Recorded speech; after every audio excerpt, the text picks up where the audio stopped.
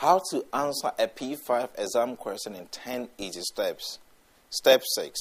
Step 6, I'll be talking about your presentation.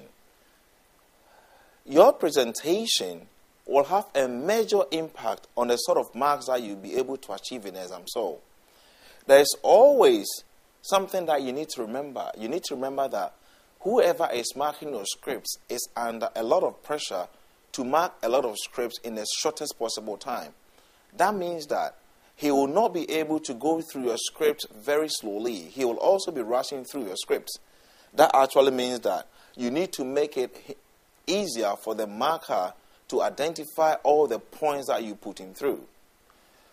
One of the things that you need to remember is if you write long paragraphs, it makes it very difficult for the marker to identify your point.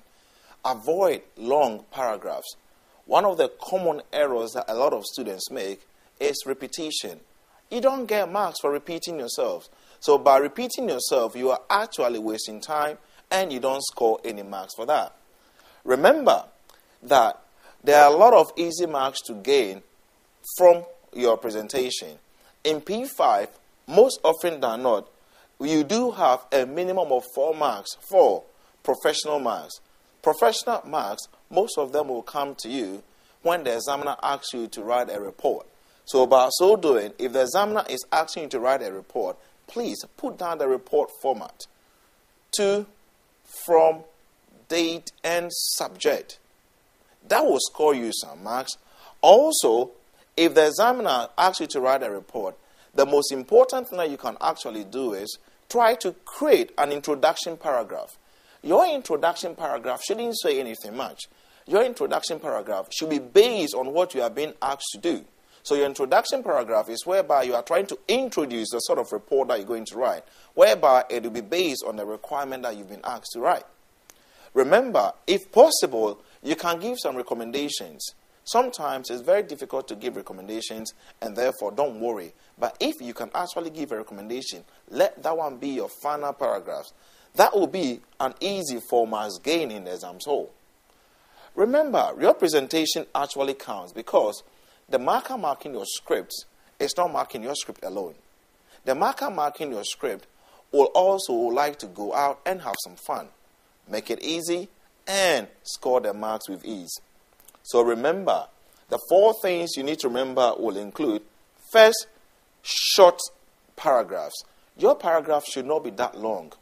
That means that if you can actually look at it carefully, give a subheading for each paragraph, write up to a maximum of five to six lines, and stop.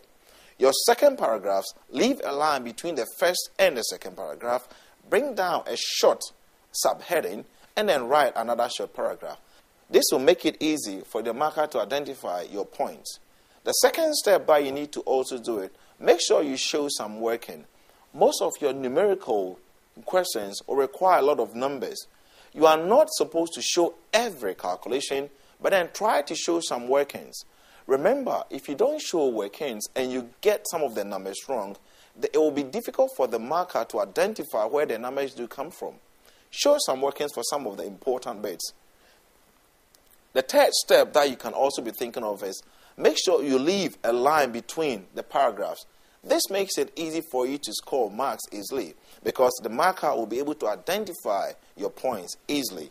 The last but not the least steps is please avoid repetition because repetition actually wastes your time and don't score you no marks. Enjoy.